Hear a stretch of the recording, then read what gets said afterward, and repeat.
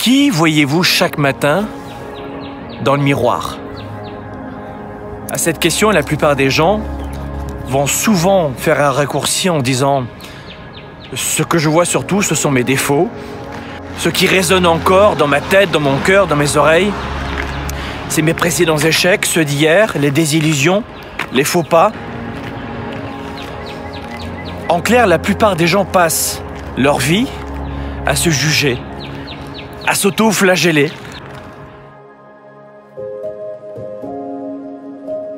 Cessez de vous juger. Parce que c'est un immense poison, le jugement.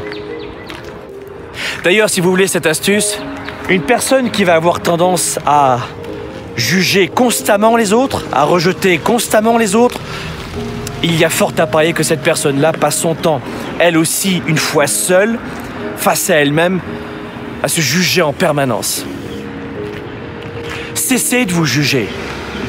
Cessez de vous juger dès qu'il y a la moindre imperfection, le moindre faux pas, la moindre chute.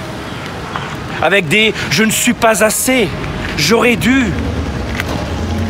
Parce qu'à chaque fois que vous faites cela, vous injectez du poison dans votre mental. Voilà comment la plupart des adultes n'osent même plus rêver, n'osent même plus y croire, redeviennent bien sages, bien morts finalement. Cessez de vous juger parce que quand vous vous jugez aussi, c'est la deuxième des choses, vous ne faites que répéter les vilains mots, les attaques, les poisons qu'on vous a imposés, qu'on vous a injectés. Quand tu te juges, tu ne fais que répéter ce que la plupart des gens ont dit avant de toi.